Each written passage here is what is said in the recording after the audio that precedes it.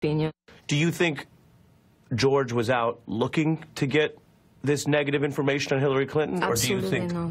Go ahead. I think George never tried to do anything.